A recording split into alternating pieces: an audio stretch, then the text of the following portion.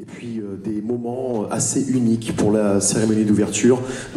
Mercredi soir, on a eu des artistes qui, euh, ici, nous ont fait une cinquième saison qui était la suite présumée de ce qu'auraient pu être les quatre saisons de Vivaldi avec ce dérèglement climatique. Vous le savez, Atmosphère, depuis cinq ans, on aime innover, faire des, performances artistiques, des choses qui font réfléchir. Alors aujourd'hui, vous êtes venu voir, et, si vous êtes euh, ici avec nous, vous êtes venu voir une performance, un mélange d'art et de science. Euh, ça s'appelle Labo Origins, et je vais vous demander d'accueillir Monsieur Michel Spiro, qui va venir vous en parler. Merci beaucoup.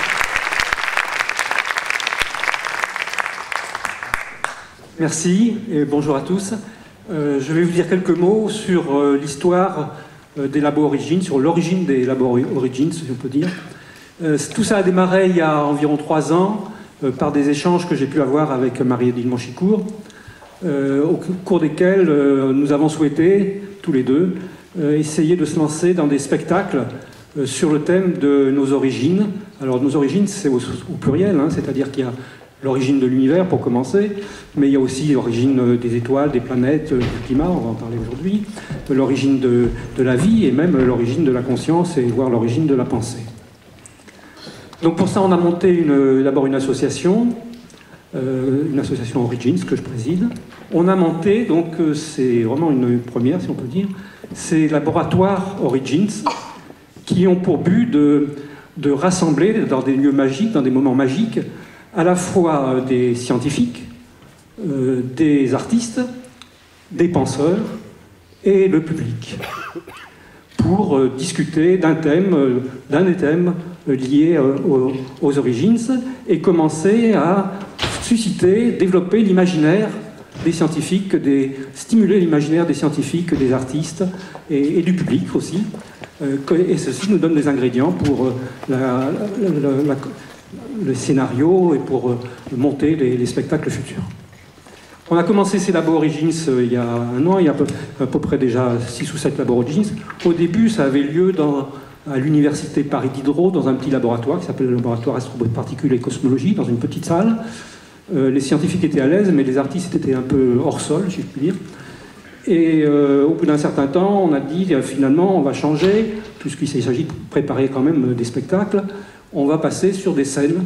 On va commencer par, euh, euh, euh, la, Reine Blanche, théâtre de la Reine Blanche, donc on va continuer. Et puis on est maintenant sur cette scène magnifique devant vous. Alors là, c'est le contraire. Les artistes sont à l'aise, les scientifiques comme moi sont un peu hors sol. Mais enfin, on va, s'y faire. Vous les verrez. Vous verrez les scientifiques s'inscrire dans cette scénographie. Et donc, euh, notre but euh, dans ces laboratoires Origins, bien sûr, j'ai dit de stimuler le- l'imaginaire, mais c'est aussi de tracer un trait d'union entre euh, donc, les artistes, les, les scientifiques, les penseurs qui sont là, et vous tous, et tracer un trait d'union aussi entre nous et l'ensemble de l'humanité, puisque les origines, c'est commun à toute l'humanité, et aussi même tracer un lien entre, entre les hommes et la nature, puisque les thèmes qu'on aborde, par exemple aujourd'hui, le climat, euh, nous connectent directement à, la nature, et en plus dans ce festival atmosphère, c'est clair que c'est quelque chose qui est très prégnant. Et voilà, donc pour euh, terminer, je voudrais dire que euh, je voudrais surtout que vous applaudissiez celle qui défri- défriche le chemin qui nous permet de constituer ce trait d'union, Marie-Odile Monchicourt, à qui je Le micro. Vous savez que c'est très émouvant parce que c'est comme si c'était un rêve qui se réalisait aujourd'hui. Donc j'espère que vous serez indulgents parce que c'est vraiment une première.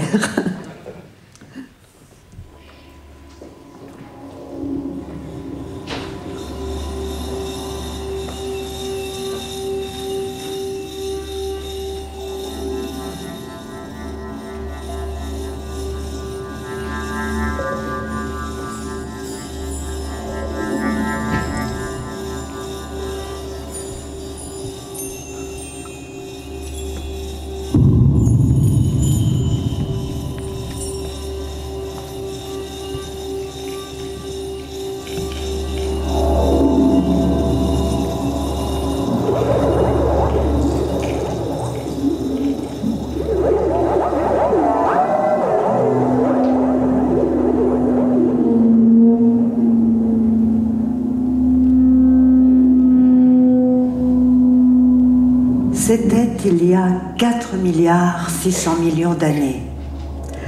À la périphérie d'une galaxie, parmi des centaines et des centaines de milliards d'autres galaxies, brillait une étoile géante. Le bleu de sa lumière éblouissante était dû au fait qu'elle était pleine d'une énergie extravagante qu'elle consumait à très très grande allure. Quand elle fut âgée de quelques centaines de millions d'années seulement, c'est très jeune pour une étoile, elle mourut dans une explosion d'une violence extrême, illuminant la galaxie tout entière. Elle était devenue supernova.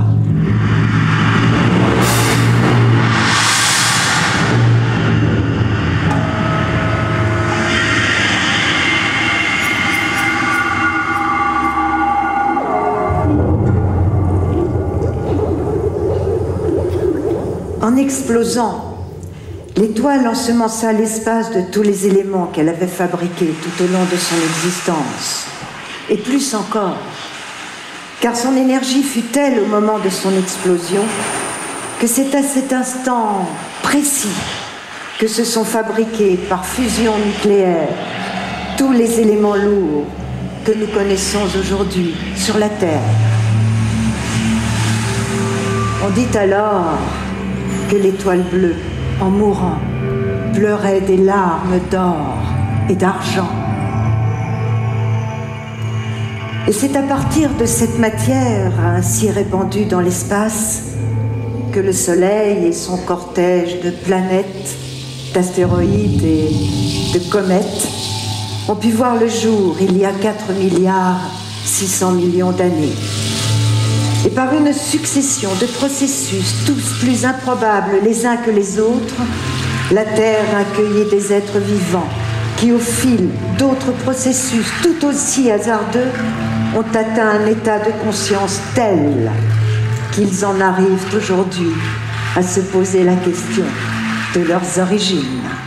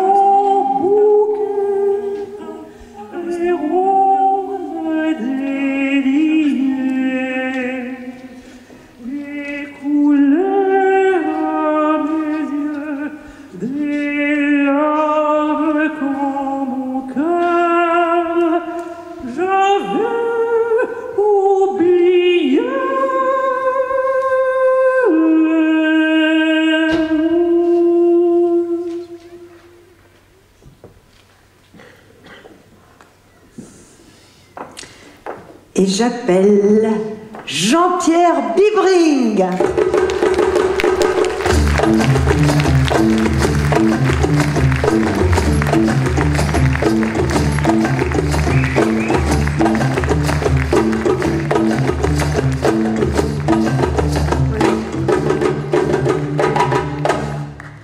Jean-Pierre Bibring, vous êtes astrophysicien, grand spécialiste de toutes les missions martiennes pour l'Europe. Vous êtes chef de mission de, Philae, cette petite euh, sonde qui s'est posée miraculeusement, si j'ose dire, sur une comète qui fonçait à toute blinde dans l'espace.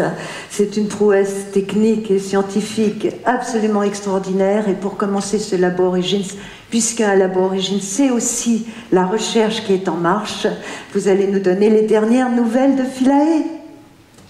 Merci beaucoup. Comme a dit Michel tout à l'heure, c'est vrai qu'être sur scène, c'est pas ce que les scientifiques euh, ont l'habitude de faire. Donc c'est vrai que c'est un peu différent, surtout qu'on ne vous voit pas.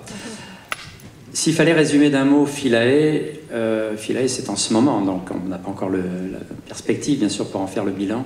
Je dirais que d'ores et déjà, Rosetta, Philae, ça change totalement la vision qu'on pouvait avoir de ce que sont les comètes.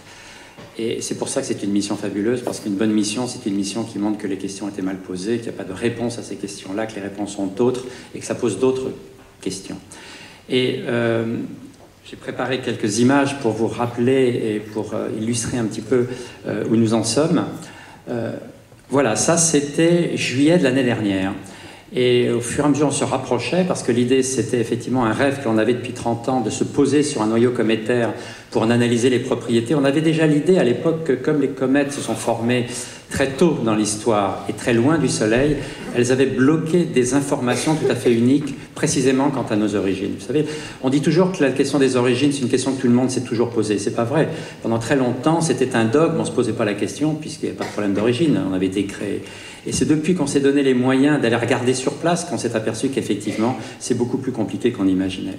Et au fur et à mesure, on allait explorer le système solaire, on s'apercevait que les objets étaient tous extraordinairement différents, qu'il fallait expliquer ces différences, pourquoi la Terre est la Terre, pourquoi la vie est apparue, et que c'est en allant voir les autres objets qu'on en aurait une idée, probablement. Et l'idée des comètes, c'était celle-ci, c'est que euh, la Terre, par son activité, a remis à zéro la mémoire tellement souvent que c'est très difficile de remonter dans le temps et de savoir ce qu'elle était la Terre primordiale au moment où la vie est apparue. Et donc on recherche les processus, les ingrédients qui ont été fondamentaux. Et l'idée, c'est qu'il en reste dans le système solaire et que les comètes en font partie. D'où l'idée de construire une mission qui un jour soit capable d'aller se poser sur un noyau cométaire, alors que c'est des objets tout petits. Ce que vous voyez ici, celui qu'on a choisi, c'est 4 km au total. Quand vous êtes à cette altitude-là, l'horizon est à 50 mètres, vous ne voyez pas au-delà. Donc euh, c'est tout petit. Et viser sur un objet comme ça, en soi, c'était déjà effectivement euh, très compliqué. Et au fur et à mesure, on se rapprochait et ça c'est une image qui a été faite quelques semaines après, on s'apercevait que c'était pire. Non seulement l'objet tournait terriblement sur lui-même et qu'on n'arriverait jamais à se poser dessus, et qu'en plus sa surface était incroyablement torturée, bourrée de crevasses, et nous on ne pouvait pas se poser dans n'importe quelle condition, n'importe où. Il a quand même fallu choisir un endroit où se poser, et avant de se poser, on a fait euh, des images où on était encore sur l'engin lui-même, ça, c'est une image que j'aime beaucoup parce qu'on voit le noyau cométaire en haut et on est encore attaché. Philae, c'est une image qui a été prise en octobre, c'est euh, il y a 11 mois exactement. Euh, on voit les panneaux solaires de cette sonde, 15 mètres de panneaux solaires de chaque côté, on est encore accroché. Et cette image a été prise à une distance de 20 km du noyau, qui est exactement la distance à laquelle on a été éjecté pour tomber en chute libre sur ce noyau. Et donc, il a fallu choisir un endroit. Et on a choisi cet endroit ici. Euh, on s'est un peu bagarré d'ailleurs. C'était pas évident de trouver un endroit. Vous voyez, on a entre autres choisi celui-ci parce qu'il y avait de bons hospices tout près. Et finalement, ce rêve d'être éjecté et d'ouvrir nos pieds, de déployer tous les engins, etc., c'était pas du tout évident qu'on y arrive. Et ça, c'est une image, une vraie image qui a été faite pendant la descente par la caméra qui était sur l'engin principal et qui montrait qu'effectivement, on s'était bien déployé. C'est une image à distance de notre engin qui va aller se poser quelques heures avant qu'il ne se pose. La, la descente a duré en fait 7 heures. On est à quelle distance de la Terre là? 500 millions de kilomètres. Et comme on va le voir sur ces images, ça c'est les dernières images qu'on a faites nous-mêmes. Il y avait une caméra, il y a une caméra sur Philae qui a été actionnée dans, durant les dernières secondes. Et là, c'est une image qui a été prise quand on était à 67 mètres d'altitude. Donc le champ, c'est à peu près 50 mètres. Et au fur et à mesure qu'on se rapprochait, voilà, on a fait des images comme ça, euh, neuf images exactement, jusqu'à la dernière qui arrive ici, qui a été prise juste avant le point où on s'est posé. On s'est posé à cet endroit-là, juste à côté de ça. Et vous voyez tout ça, le caillou du centre, il fait quelques dizaines de centimètres. C'est là qu'on s'est posé, c'est là qu'on voulait se poser, puisque cet endroit-là est à 100 mètres du site qu'on avait prévu, et tout ça se passe 500 millions de kilomètres de la Terre. Ce qui s'est passé, comme euh, ceux qui ont suivi cela peuvent s'en souvenir, c'est que dès qu'on a réussi à, à voir le signal qu'on avait touché, on est monté tout de suite pour faire les premières images, le panorama, pour voir à quoi ça ressemblait. Et là, on s'est aperçu de quelque chose d'horrible, c'est que le panorama était tout flou. C'est qu'en fait, on s'était posé, mais qu'on avait quitté le noyau cométaire, on avait rebondi. Et ça, ça a été quelque chose de tragique parce qu'on n'avait aucun moyen de savoir à quelle vitesse on était reparti. Et comme l'engin est très petit, il y a très peu de gravité, il vous suffit d'une toute petite vitesse pour échapper et quitter. Et donc le risque, c'était qu'on ne puisse plus jamais retrouver le sol de cette comète. Et on a passé une nuit à essayer de refabriquer toutes les commandes au cas où le système se reposerait et qu'on pourrait faire des choses. Et ça a été assez extraordinaire. On sait maintenant qu'on a traversé cette grande dépression qui fait plus de 500 mètres et qu'on est actuellement dans cette zone-là et on a une bonne précision sur l'endroit où on est actuellement. Et ce qui a été extraordinaire, c'est que le lendemain matin, effectivement, on a acquis cette image absolument extraordinaire pour nous, où on voit le pied de notre engin posé, qui est donc un engin qui avait été fait 20 km, 20, ans plus tôt, mais qui s'est posé sur le plus ancien objet du système solaire que l'on pouvait imaginer, et éclairé par le soleil, et on était au repos, c'est ce que l'on voulait. On avait derrière nous d'autres images qui nous permettent de nous dire, voilà, on a une énorme falaise derrière nous. Cette falaise qu'on ne voit pas en fait sur les images parce qu'elle est extrêmement sombre, elle est à contre-jour elle est en fait celle qui nous a protégés jusqu'à aujourd'hui, parce que grâce à cette falaise, le soleil n'a pas trop chauffé notre sonde et notre sonde n'est pas, passée aux températures supérieures à celles qu'il faut, dans lesquelles il faut qu'il soit maintenu. C'est pour ça qu'on est toujours actuellement euh, prêt à travailler et à fait euh, deux fois par jour, et c'est presque ça le plus horrible, deux fois par jour, Philae se réveille et est prêt à travailler et probablement travaille. Le problème, c'est qu'actuellement, pour des raisons qui ont lieu à la manière dont il est posé et la distance que l'on a de l'engin principal, on ne peut pas communiquer avec lui. C'est-à-dire qu'il travaille, mais on ne peut pas récupérer les informations. Mais on espère que tout ça va venir relativement bientôt. Euh, ça, c'est une image euh, d'artiste qui représente à peu près la manière dont on pense qu'on est actuellement. Vous voyez, complètement de guingois, parce qu'on a rebondi trois fois avant d'arriver dans, euh, dans ce trou, en fait.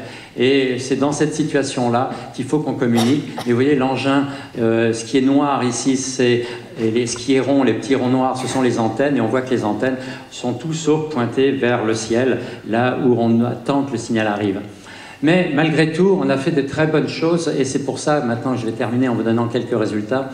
Euh, vous voyez à gauche l'endroit de la surface où on a touché la surface. Et à droite, la même après qu'on soit reparti. Vous voyez les trois pieds ici qui montrent effectivement les empreintes que notre engin a mis sur le, sol.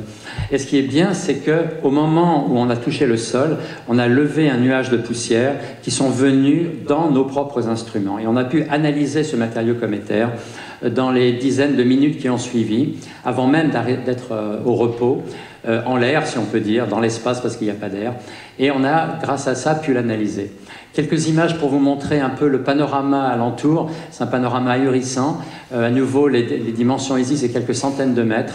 Alors, c'est toujours très trompeur, parce que quand on voit des images comme ça, on croit que c'est très brillant. En fait, il faut augmenter énormément le contraste pour le voir. Ces images, si vous n'augmentez pas, sont toutes noires. Le matériau à la surface de la comète est plus noir que du charbon. C'est un des matériaux les plus sombres dans le système solaire. Et euh, voilà des structures que l'on voit ici. Et ce qui est merveilleux, c'est que ces images et ces structures, on commence à pouvoir les expliquer. Et on les explique, entre autres, euh, voyez, ce genre d'évolution de, qui peut y avoir à la surface, uniquement par les processus de dégazage. Et vous avez ici une image, par exemple, qui vient d'être faite il y a quelques semaines, qui ne fait que reproduire dans toute la rotation du noyau que l'on peut avoir, le fait que quand il passe dans la direction du Soleil, tout d'un coup, voyez, il y a en permanence des jets, et quelquefois, il y a des grandes, comme ça, émissions qui se font. Alors pourquoi est-ce que c'est important tout cela? Eh bien, On voulait comprendre le processus par lequel il y a ce dégazage. Euh, qui est un des processus cométaires qui est le plus connu, puisque c'est ça qui permet ensuite aux comètes d'avoir ces enveloppes que l'on voit. Mais la chose importante, et je terminerai là-dessus, c'est que on s'est aperçu qu'en fait, contrairement à l'idée qu'on s'en faisait, Euh, une comète n'est pas faite essentiellement de glace et certainement pas de glace d'eau. Euh, quand on est parti, on avait l'idée qu'effectivement, parce que les comètes sont formées très loin et que la glace est stable à grande distance, la glace doit dominer. Et que c'est parce que la glace domine que quand l'engin, si je puis dire, la comète se rapproche du Soleil, la glace se sublime et ça fait ces grandes enveloppes. Eh bien, bien sûr qu'il y a de la glace, mais la glace est très minoritaire. Et ce qui domine dans le, dans le matériau cométaire, et c'est ça qui est merveilleux, c'est le matériau que vous voyez ici. L'essentiel de la masse de la comète, alors qu'elle est pourtant très poreuse, ce sont des grandes chaînes carbonées. C'est des chaînes de carbone, des macromolécules, qui sont piégées là depuis que la comète est comète, qui se sont formées dans l'effondrement du nuage dont parlait Marie-Odile tout à l'heure, qui a donné naissance à l'ensemble du système solaire il y a une chimie très particulière et très spécifique qui se retrouve dans ces molécules-là. Ces macromolécules-là, pour l'essentiel encore, on ne les a pas analysées elles-mêmes. Pourquoi? Parce que pour ça, il faut arriver à chauffer, parce qu'elles sont tellement réfractaires qu'il faut chauffer pour pouvoir les, faire rentrer dans nos appareils. Et ça, c'est ce qu'on espère faire dès que Philae va se réveiller. On espère euh, fin octobre, en novembre. C'est le moment qui sera le plus opportun pour faire cela. Mais il se trouve que ces chaînes carbonées ont quand même piégé beaucoup d'autres molécules organiques qui, elles, ont toutes été analysées. Et c'est ça qui est extraordinaire, c'est qu'on s'aperçoit que ce matériau est riche d'une très grande variété de, euh, de, matériaux, comme on dit, organiques, dont des aldéhydes, des cétones, on a même trouvé des, formules aromatiques, Donc, des acides bien aminés. déjà dans le, dans le nuage Voilà, et ces acides aminés, on a trouvé de la glycine par exemple, ont été formés dans l'effondrement même du nuage. C'est pas qu'il y a un processus qui est arrivé depuis que la comète s'est formée. Et ça donne une toute autre idée donc de la manière dont l'évolution de notre système a pu fabriquer ce qui a été ensuite fondamental pour le, probablement l'origine du vivant. Pourquoi? Parce que ces grains-là, autant la glace ne voyage pas facilement, ne rentre pas facilement dans l'atmosphère d'une planète comme la Terre, elle se volatilise avant. Ces grains-là, eux, ils peuvent traverser et ils peuvent aller ensemencer des océans. Et ce sur quoi on travaille maintenant, c'est sur la compréhension de, des phases chimiques très particulières qui ont été fabriquées dans l'effondrement de ce nuage pour savoir de quoi la vie a eu besoin pour démarrer. C'est un petit peu ça le thème d'aujourd'hui. Et deuxième question peut-être encore plus importante, qui est de savoir si cette chimie qui a pris place à ce moment-là, grâce auquel on est là aujourd'hui, elle est particulièrement à l'effondrement de notre propre nuage ou si elle est très répandue dans l'univers. Des nuages qui s'effondrent pour donner naissance à des étoiles et des planètes autour, il y en a partout. Il y en a des milliards dans notre galaxie. Mais ça, ça ne veut pas dire que tous sont soumis au même processus. Et la grande leçon sur laquelle on reviendra un peu plus tard, de ce que l'exploration du système solaire a montré, c'est l'incroyable diversité des chemins d'évolution possibles. Il faut arrêter de penser que le vivant, c'est l'échelle supérieure d'une évolution de la complexité depuis des éléments très simples qui ne peut que aller vers des espèces vivantes et vers du cerveau humain dont vous êtes quelques représentants ici. Il y a tout un tas de diversité de chemins d'évolution possibles. Et il n'est pas exclu que la chimie qui a donné naissance à ces phases-là soit elle-même très particulière de l'effondrement de notre propre nuage, avec un soleil qui apparaît un moment, tournant sur lui-même à une certaine manière, modifiant cette chimie, etc. Donc ce sur quoi on travaille actuellement, c'est non seulement sur ce que sont les molécules qui ont été indispensables à l'émergence de la vie dans les océans planétaires et en particulier dans l'océan de la Terre, mais ensuite de savoir si ces particules-là sont très répandues dans l'univers ou au contraire elles sont très particulières à notre propre système et ça change totalement l'idée de la pluralité des mondes, de l'unicité de la Terre et du vivant. Merci Jean-Pierre. Alors je vous invite à vous asseoir ici. On vous retrouve dans quelques instants.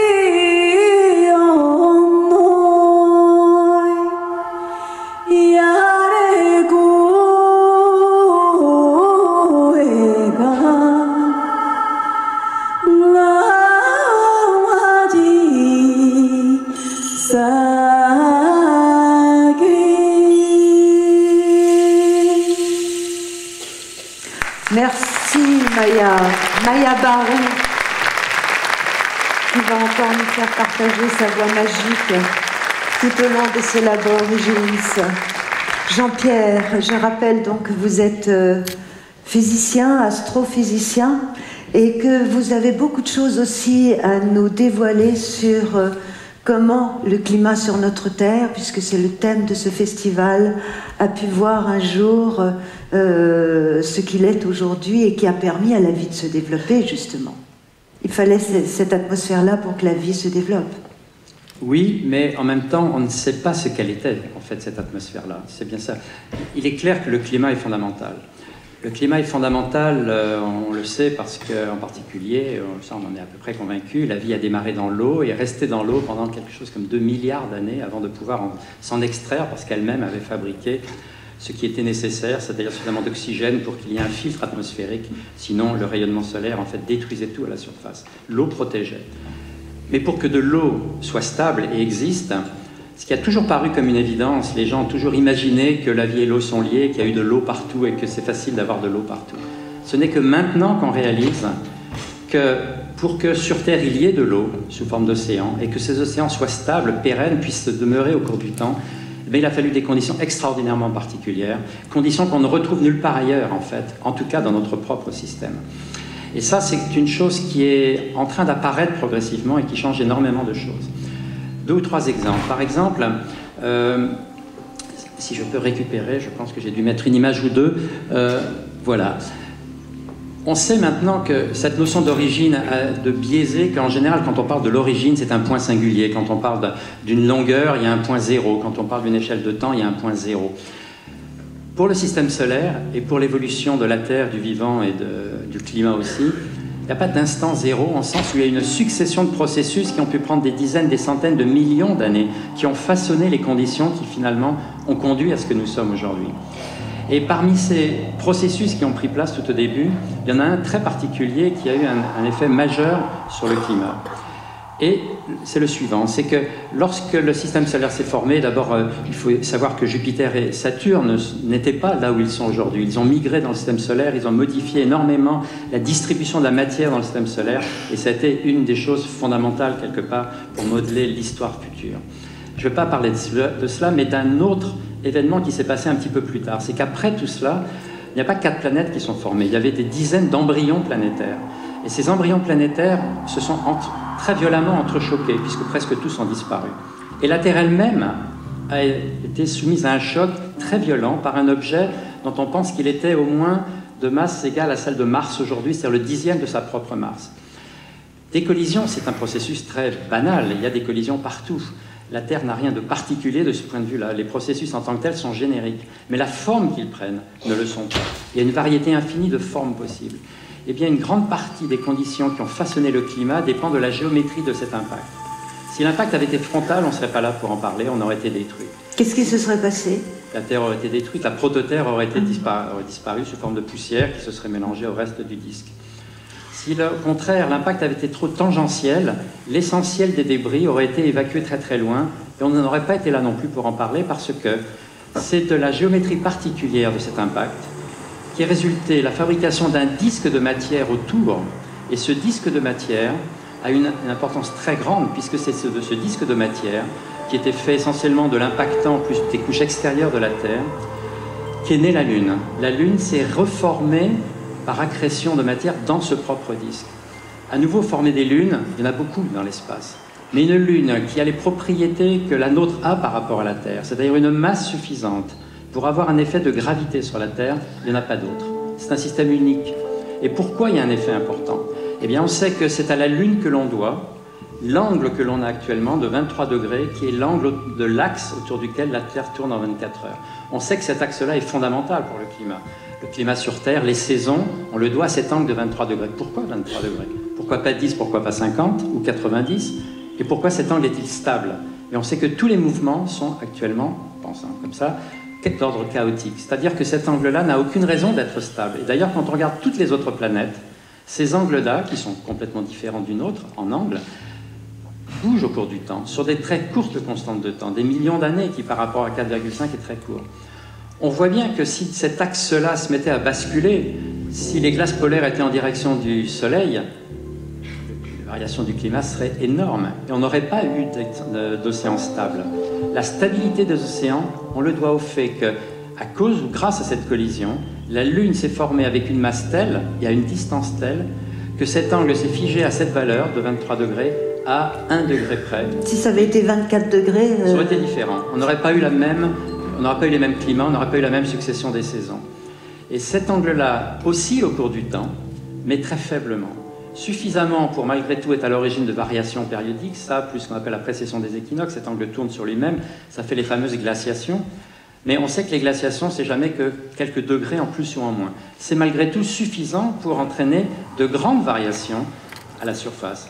Mais le système est capable de s'y adapter parce que ça se fait sur des milliers d'années.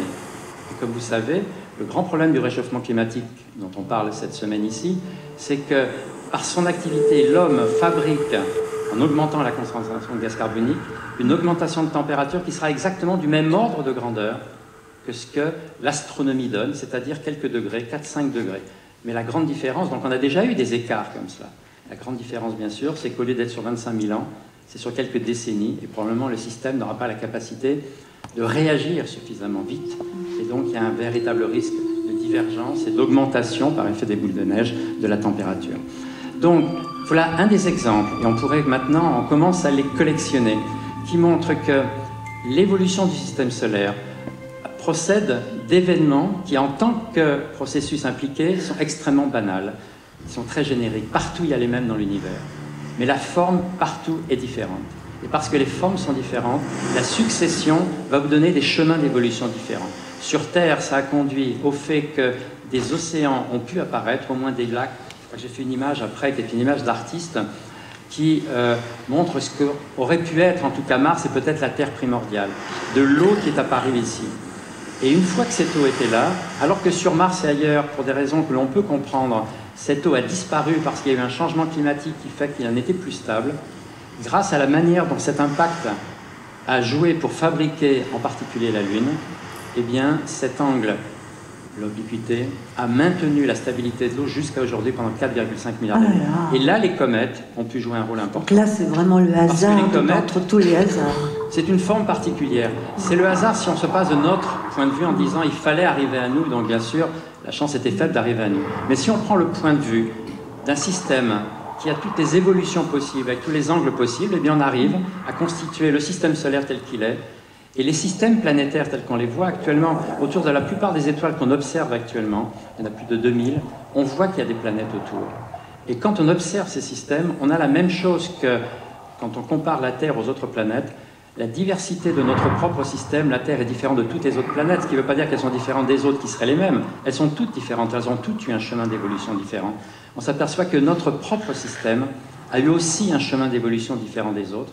Et pour la même raison, les processus en tant que tels sont génériques, la forme qu'ils ont prise sont très particulières. Merci, merci Jean-Pierre Dubry, on peut l'applaudir. Je vais vous prendre votre micro un instant, je vous bien, parce que maintenant, je voudrais aller vers quelqu'un qui est caché derrière cette table et vous vous demandez ce qu'il fait. Alors, D'abord, il s'appelle euh, d'abord euh, il s'appelle Codex Urbanus. C'est un street artiste et je voudrais qu'il vienne devant parce que là, euh, c'est pas dans la lumière, Codex, et on a envie de te voir. tu vois, ouais, la belle barbe. Alors, euh, Codex, merci d'être venu. Vous avez bien voulu partager ce labo Origine avec nous en, en nous offrant votre talent de street artiste. Alors, qu'est-ce que vous allez faire tout au long de ce labo? Alors, euh, exceptionnellement, en tant que street artiste, on demande souvent de travailler sur des murs. Euh, et là, on a la chance d'avoir un projecteur, donc je peux travailler sur papier, ce qui nous permet d'utiliser d'autres supports. On a un peu de bombe, mais euh, aussi de l'encre et de la plume. Et je suis parti sur quelque chose d'évolutif, donc essayer de coller à tout ce qui va être dit. On va couvrir la création du monde, des mondes, et ça tombe bien, nous autres en art, on fait aussi de la création, mais c'est la nôtre. Et, euh, donc, du coup, euh, ben, plus, l'événement va avancer, plus il va y avoir des choses sur ce morceau de papier. D'accord. Et puis on va suivre de plus en plus tout ce que vous faites, on va surveiller. Merci Codex. maintenant je voudrais me tourner vers notre philosophe, car je ne sais pas si vous avez remarqué, mais toutes ces questions sur les origines, ça remue un peu toutes les questions philosophiques qui, qui nous animent depuis qu'on est enfant en fait. Alors, ce philosophe qui a bien voulu euh, venir nous rejoindre s'appelle Pierre-Louis Després. Et euh, bah, je voudrais vous demander déjà une première réaction par rapport à tout ce qui s'est dit euh, avec Jean-Pierre Bibring. Comment ça fait évoluer justement notre vision du monde, notre vision de nous-mêmes?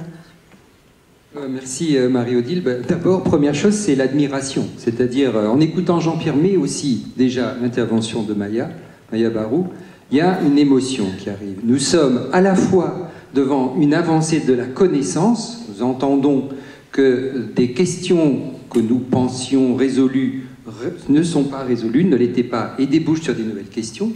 Et finalement, nous avons des images, nous avons des simulations totalement nouvelles qui nous ouvrent les yeux, et pour autant, à la fin, nous sortons avec encore plus de questions. C'est-à-dire que les certitudes que nous avions sont réinterrogées. C'est une véritable révolution. Jean-Pierre a parlé de changement de vision. Avant l'arrivée de, de, Philae sur la comète, nous pensions qu'il y aurait eu de l'eau. En fait, ce sont des macromolécules. Donc, il y a une découverte, un nouvel étonnement. Et pour la philosophie, évidemment, je dirais, c'est un très très bon grain à moudre, puisque c'est son travail, d'aller s'étonner là où on ne s'étonne plus suffisamment, ou là où on pensait que la messe, entre guillemets, était dite, c'est-à-dire que la connaissance était stable. Et quand on entend le dialogue artistique qui va naître sous nos yeux avec Codex Urbanus, on entend là aussi que les choses vont avancer. Et c'est véritablement cela pour moi le premier grand message philosophique, c'est que la connaissance n'est jamais stable. Elle va procéder par de l'imagination. J'ai remarqué la façon dont Jean-Pierre parlait d'hypothèses, et en même temps par des certitudes qui avancent, des certitudes qui sûrement seront dans les prochaines décennies ou peut-être plus vite, on ne sait pas, corrigées, remplacées par de nouvelles certitudes dans une espèce de chemin qui est sans fin. J'ai déjà écouté Jean-Pierre qui nous disait que ce projet, il l'avait eu il y a 20 ans, la trajectoire de Philae pour aller rejoindre la comète a duré 10 ans, ça veut donc dire que l'imagination d'il y a 20 ans découvre seulement aujourd'hui un certain nombre d'informations. Et que le projet, lorsqu'il a été lancé, conçu, était élaboré à partir d'un certain, nombre de connaissances, d'un état de l'art du moment, et que 20 ans plus tard, les, les questions euh, qui étaient celles du départ n'ont pas forcément toutes les réponses, mais qu'elles débouchent sur de nouvelles questions.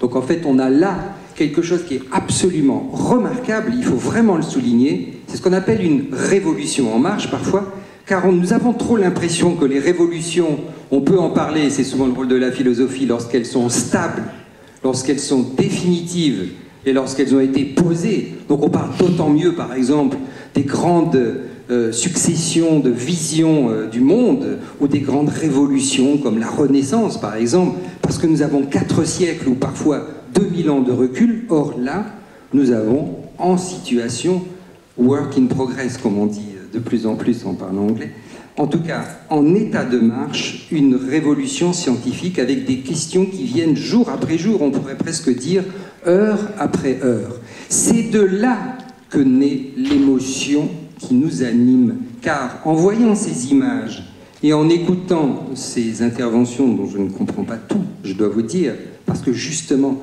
elles me mettent dans une situation personnelle d'incompréhension et en même temps de désir de comprendre et de savoir, c'est de là que naît la principale émotion dont nous avons besoin pour notre savoir et les savoirs partagés, qui est ce qu'on appelle l'étonnement, la capacité à s'étonner. Oh, mais qu'est-ce qui parle bien ce philosophe-là Michel?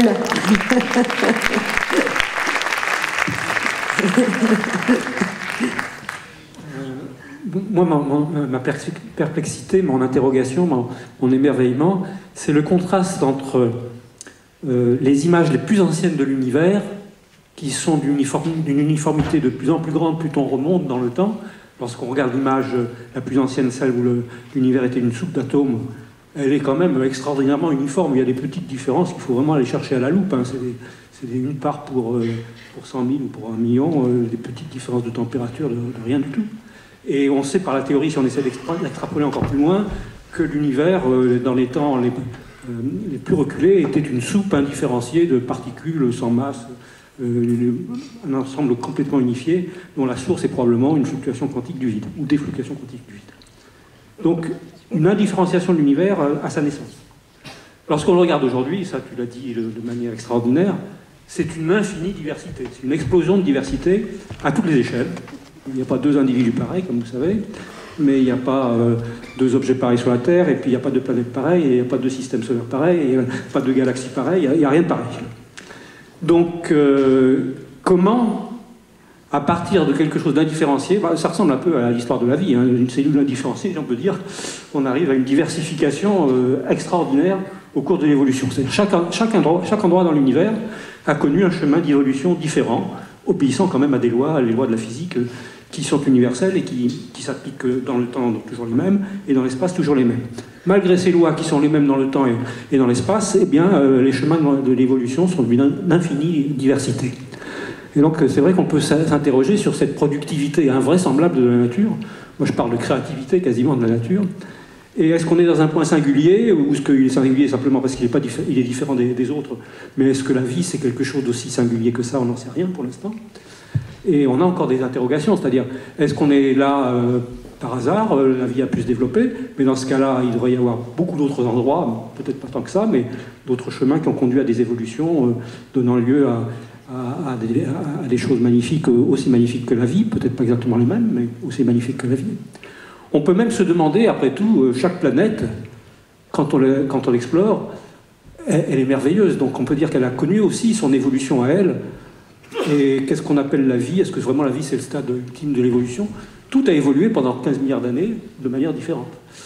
Et euh, voilà, donc moi j'en suis avec ces questions. Je pense qu'effectivement il y a encore beaucoup de, découvertes à faire et, pour comprendre les, différentes évolutions dans les différents points de l'univers. Alors moi, je vous propose maintenant justement de voir ce que va nous en dire un biologiste euh, néo-darwinien, c'est-à-dire euh, qui aime beaucoup l'évolution Darwin, mais qui inclut toutes les connaissances de la génétique. J'appelle Pierre-Henri Gouillon.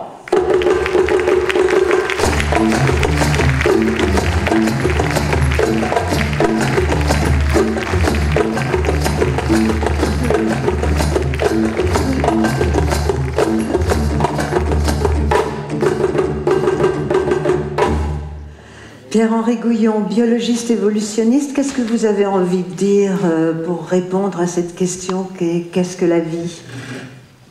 Oh, il y a eu beaucoup de définitions de la vie, mais on a dit que c'était une interaction coordonnée entre des petites et des grosses molécules. C'est pas très poétique. Hein.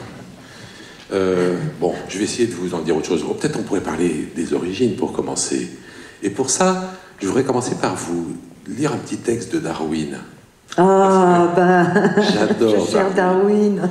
Alors, Darwin écrit dans une lettre à un ami, parce qu'il n'a jamais osé l'écrire officiellement, il écrit il se pose la question, mais pourquoi est-ce qu'il n'y a pas de nouvelles formes de vie qui apparaissent tout le temps? Pourquoi il n'y a pas une nouvelle origine régulièrement?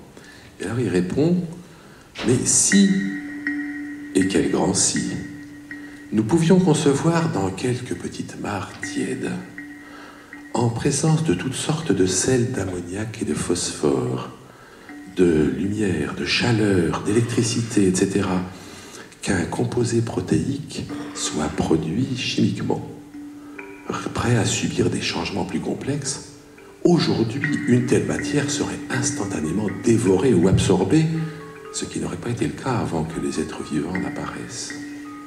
Voilà pourquoi ça ne, ça ne se reproduit plus une fois que la vie est là elle mangera toutes les autres origines.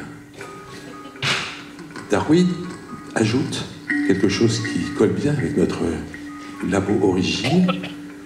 Il dit c'est vraiment pas sérieux de se poser des questions sur l'origine de la vie, autant se poser des questions sur l'origine de la matière. Bon, voilà. Alors les physiciens. Ça, ça va plaire à Michel. les physiciens nous ont donné quelques éléments sur l'origine de la matière et une des choses qui, me, qui, qui évidemment nous intéresse quand on se pose la question de l'origine de la vie, alors vous savez que, euh, d'ailleurs, Jean-Pierre moi, on appartient tous les deux à une société savante que j'adore, ça s'appelle la Société française d'exobiologie. Alors l'exobiologie, c'est la science des êtres vivants sur les autres planètes que la Terre. C'est génial. Une science entièrement dévolue à un truc qu'on n'a jamais vu et dont on ne sait pas s'il existe. C'est génial parce que moi je suis biologiste et alors dans le domaine de la biologie, on est vraiment bloqué par le fait qu'il y a tous ces êtres vivants à étudier. Ça nous fait un boulot, vous ne pouvez pas savoir. Ils sont tous différents les uns des autres. On n'aura jamais fini, rien que de leur donner des noms. Alors, travailler sur des trucs qui n'existent pas, ça c'est un bonheur, parce qu'au moins là, on est obligé de réfléchir.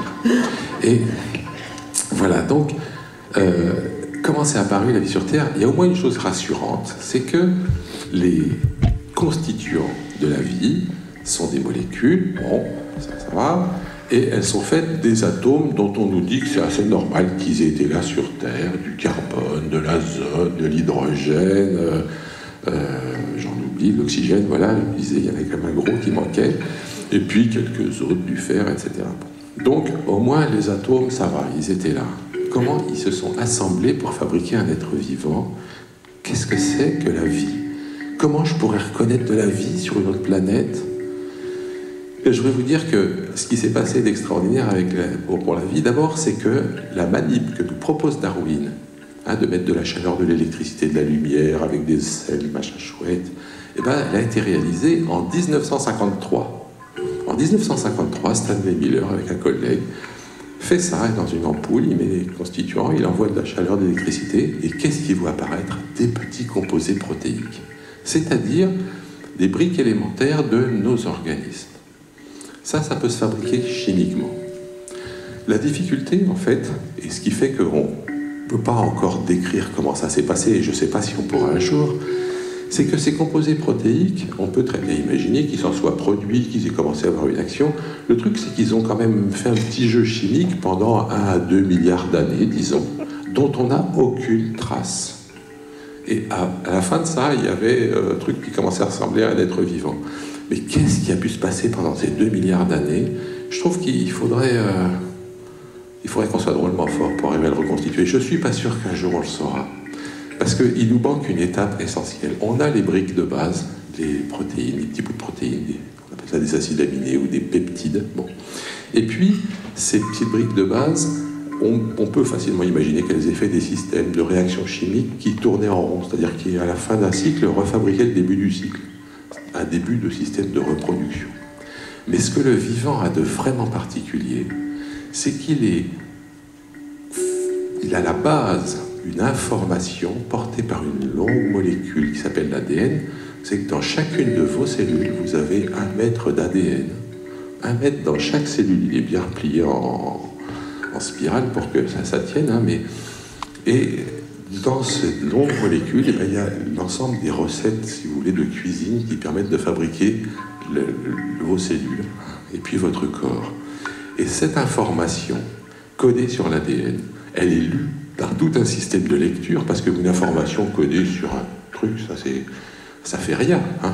Une, une, recette de cuisine, vous, avez un, bout de papier avec des machins écrits dessus, une partition musicale, une partition musicale, ça n'a jamais joué une symphonie. Une recette de cuisine, ça n'a jamais fait de tarte aux pommes. Non, quand on dit d'ailleurs que les gènes fabriquent les individus, mais bien sûr que non. Les gènes ne fabriquent pas plus les individus que les recettes ne fabriquent des tartes aux pommes. C'est des individus qui refabriquent des individus, mais en utilisant la recette qui est dans l'ADN. Comment l'information s'est-elle écrite sur cet ADN Comment on a pu stocker cette information ben, Ça, on ne le sait pas.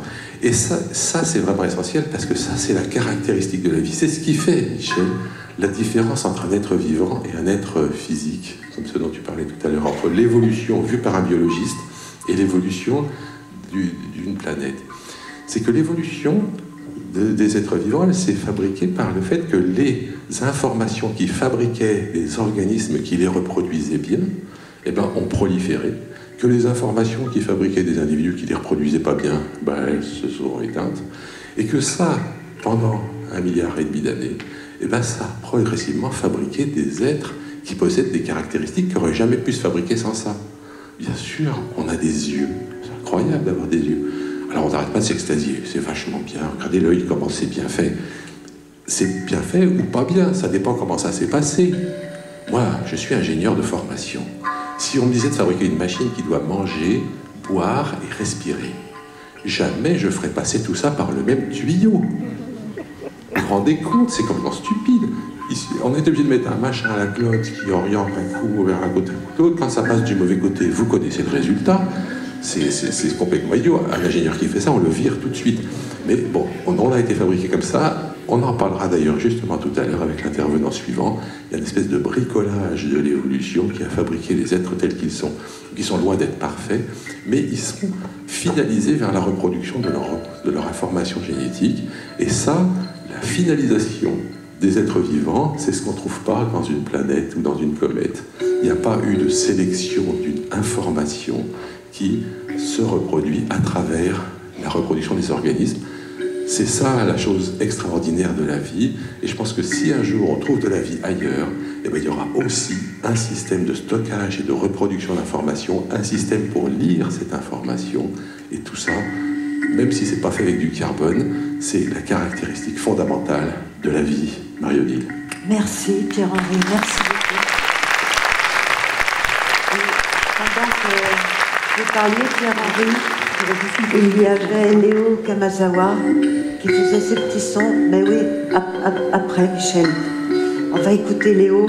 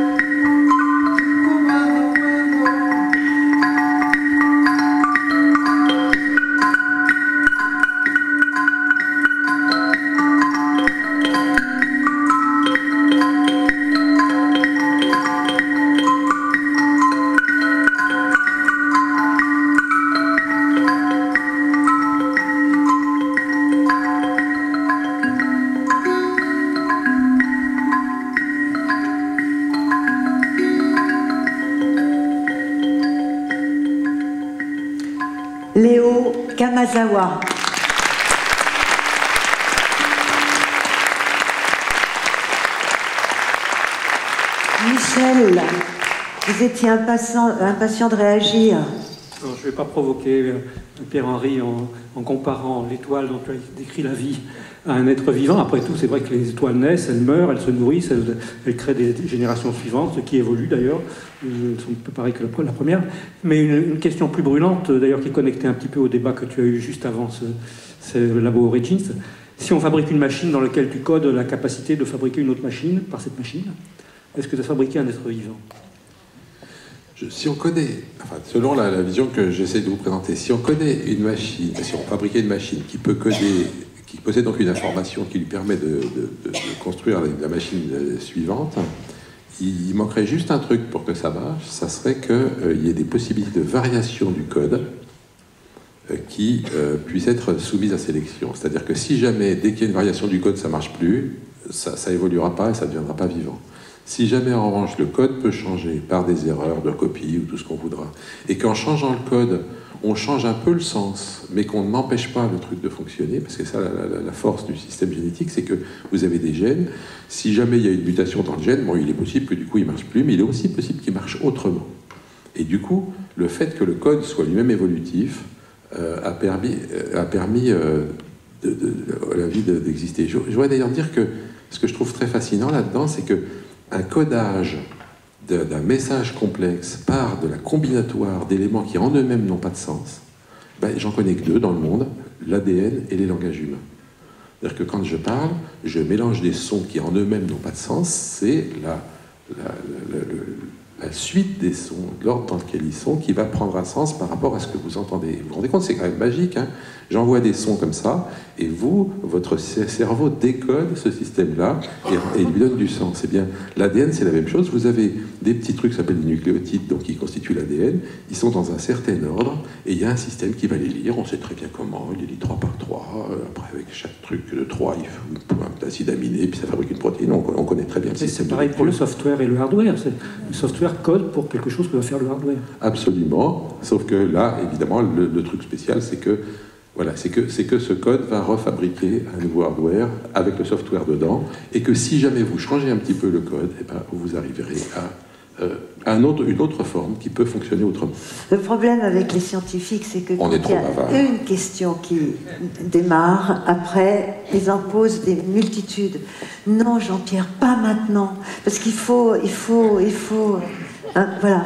Alors, je, vais quand même demander, mais je vais lui demander d'être très court, à Pierre-Louis Després de nous donner sa petite réaction de philosophe, parce que tout ça pose vraiment des questions. D'abord, je vais en faire deux, mais très rapides. La première chose, c'est c'est très succulent d'entendre un scientifique, un biologiste, parler de magie, puisqu'il a dit c'est magique. Et donc, je ne m'attendais pas, Jean-Pierre tout à l'heure également, à utiliser des termes tout à fait poétiques. Et donc, on a fait de la tarte aux pommes, et on a imaginé des univers magiques. Et donc, c'est très rassurant dans cette science qui parfois peut sembler uniquement un art du calcul, d'entendre un art humain.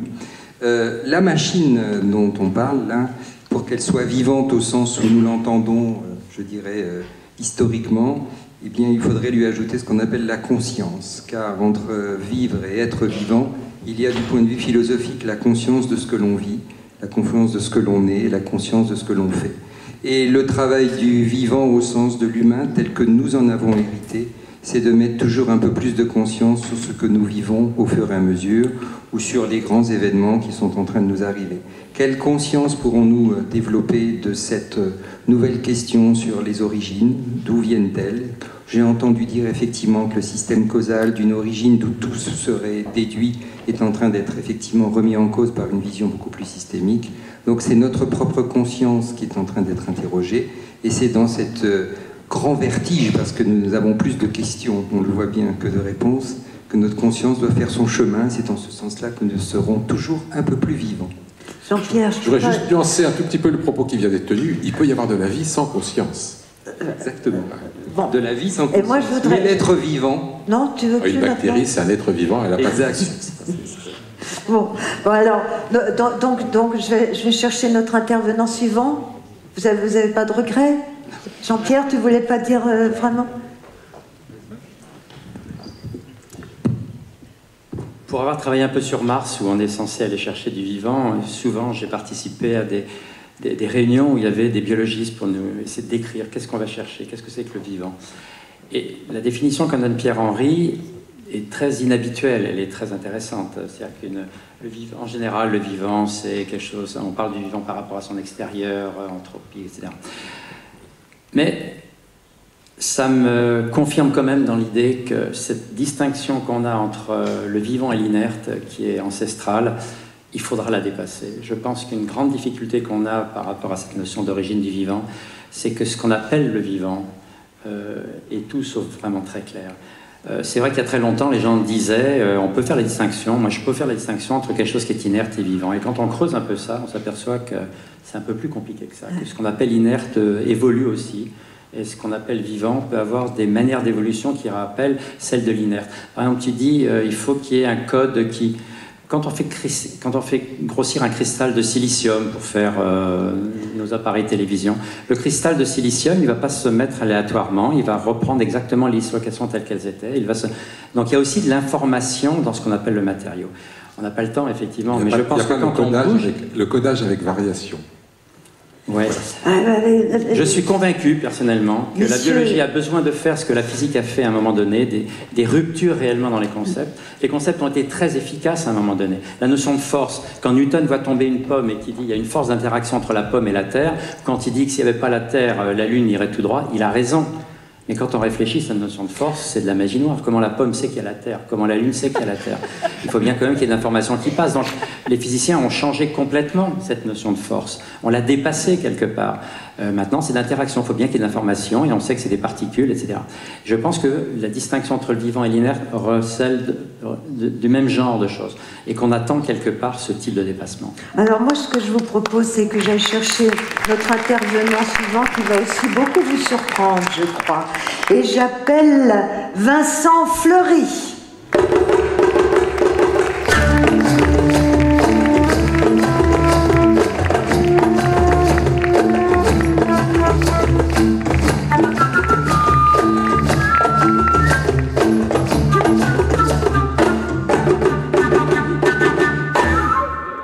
Vincent Fleury, vous êtes... euh, oui, oui, oui, bien sûr, il faut les applaudir, c'est évident. On va, vous allez voir, ils sont tellement, euh, tellement magnifiques, ces artistes. Bon, alors, euh, Vincent Fleury, vous êtes physicien, mais vous, vous vous dites aussi un peu biophysicien. Parce que vous êtes sacrément sur les plates-bandes des biologistes avec votre théorie là. Un peu, voilà. Alors, vous allez, euh, vous allez euh, nous, nous proposer votre théorie. quel- Quelques mots d'idées nouvelles sur euh, la formation des animaux. Donc on va passer, après être passé des gaz et des poussières aux molécules du vivant, on va passer plutôt aux organismes pluricellulaires. Alors évidemment, quand on pose la question des origines, euh, vous avez vu, euh, on interroge euh, une profondeur historique de 15 milliards d'années. On interroge un cosmos absolument gigantesque dans lequel ont lieu des explosions de supernovas qui répandent de la matière dans l'univers. Quand on veut poser la question des origines de la vie, on est obligé de faire des voyages de 500 millions de kilomètres pendant 20 ans pour aller trouver l'eau qui serait peut-être euh, à l'origine d'une évolution euh, euh, animale et végétale qui a pris des centaines de millions d'années pour arriver à ce que je puisse être là pour vous en parler et vous là pour m'écouter. Bon, enfin, en quelque sorte, on est complètement écrabouillé par la dimension du problème. Enfin, c'est, on est aplati par le- l'espace, par le temps, parce qu'on est tout petit et on est mortel. Alors moi, je pense que le, projet humain, le projet des, artistes qui sont là, euh, le mien en tant que scientifique, euh, c'est, de, ne pas être écrasé, de lutter contre cet écrasement et d'essayer de, se sortir des ténèbres et puis de se, se ré- réchauffer avec la musique et d'essayer de comprendre ah, avec la science. Alors, euh, ce qui va nous aider dans cette entreprise, c'est les lois de la physique. Est-ce que je peux avoir... Voilà. Alors, les lois de la physique, elles ont quelque chose de particulier, ce sont les lois de l'univers, et comme l'a dit Michel Spiro, ces lois sont universelles. Et c'est ça qui va nous servir euh, d'ouvre-boîte.